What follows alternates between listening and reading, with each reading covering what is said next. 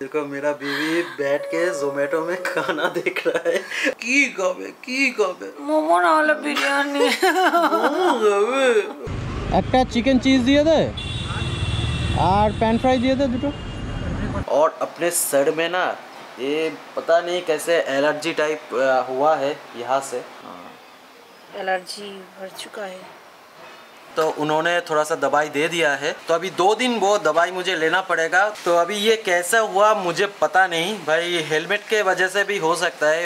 तो अभी अपना हेलमेट वाला जितना भी पैड है तो उसको हम डेटॉल पानी में अभी भिगो के रखेंगे कुछ देर के लिए।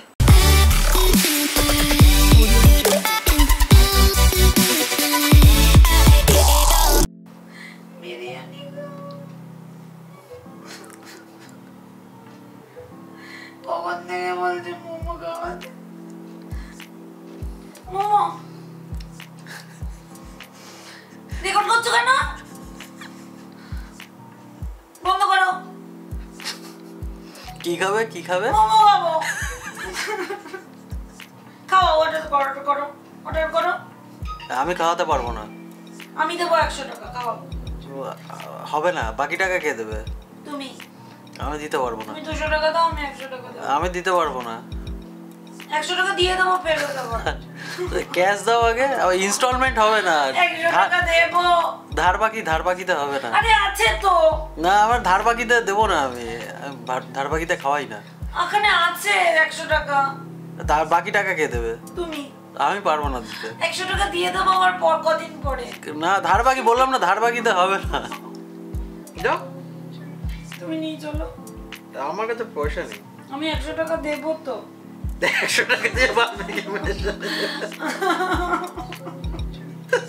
हमें खाओ देखो मेरा बीवी बैठ के जोमेटो में खाना देख रहा है और मेरा सिर चबा रहा है की खावे की खावे मोमो नाले ना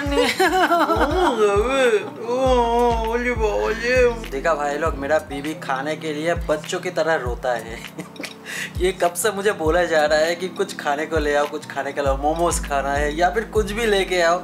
मैं जा नहीं रहा था। तो ऐसा ये बैठ के ना ऐसा ही रो रहा था और बोल रहा था। तो चुपके से मैंने कैमरा ऑन करके आप लोगों को दिखाया।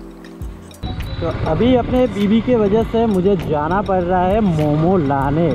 तो मेरे बीबी के साथ साथ मेरे बेटे ने भी मुझे पकड़ा, मोमो खाना है हम लोगों को। खा खा के ना अपना तोन जो है, वो बहुत बढ़ रहा है। भाई, जिम जाना स्टार्ट करना पड़ेगा फिर से। नहीं तो ये बढ़ता ही रहेगा। चलो अभी चलते हैं मोमो लाने। So hey welcome back to my channel ये देखो, ये किसका हाथ है मालूम है? ये किसका? ये छोटा छोटा वाला हाथ। ये देखो।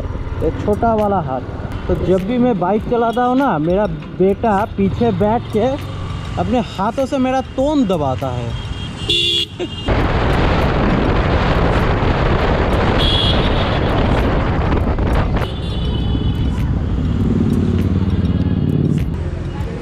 নেমে যাবো অপ- অনেকটা হেলে গেছে অনেকটা হেলে গেছে তাহলে নিচে এসে বসো হ্যাঁ নিচে বসো এখানে বসো এ, তোমার জন্য স্টিম মোমো নেব? তুমি স্টিম মোমো। আর কি কি মোমো আছে জিজ্ঞেস করো? আজকে কি কি করেছিস? মোমো মোমো। চিকেন চিজ একটা চিকেন চিজ দিয়ে দে। আর প্যান ফ্রাই দিয়ে দে দুটো। হুম জিরি জিরি বৃষ্টি পড়ছে। হ্যাঁ? DS Moto Adventure DS Moto Adventure আমার ट्रैवलर वीडियो এখন তো অনেক দিন হলো ट्रैवल করছি না तो चलो अपना मोमो तो हमने ले लिया है अभी चलते हैं घर और घर जाके उम्म, इसको खाते हैं तो भाई लोग और भाई लोग के बहन लोग तो सुबह उठने के बाद ना अपना बाल ऐसा ही सेट हो गया है जितना भी कंघी करो भाई ये कुछ भी नहीं हो रहा है ये ऐसा ही हो चुका है ये देखो और अपने सर में ना ये पता नहीं कैसे एलर्जी टाइप हुआ है यहाँ से। एक बार दिखाता हूँ आपको। अच्छे से दिखेगा कि नहीं, पता नहीं। अभी ये जो हुआ है ना, इसमें बहुत दर्द हो रहा है। पूरा सिर में हो गया है। और इस तरफ़ भी थोड़ा बहुत है, पर यहाँ पे ज़्यादा है। तो ये देखो अपने सर में क्या हुआ यहाँ पे। दिख रहा है? एलर्जी भर चुका है।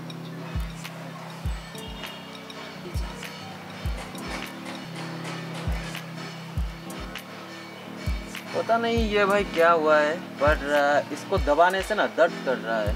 तो अभी हम डॉक्टर के पास गए थे तो उनको दिखाया कि ये हुआ है तो उन्होंने थोड़ा सा दवाई दे दिया है। तो अभी दो दिन वो दवाई मुझे लेना पड़ेगा, उसके बाद देखेंगे कि क्या हुआ है। अगर इससे ठीक हो गया तो ठीक है, नहीं तो तो कोई दूसरा वाला मेडिसिन देगा या फिर कुछ भी करेगा भाई, वो बाद में दिखा जाएगा।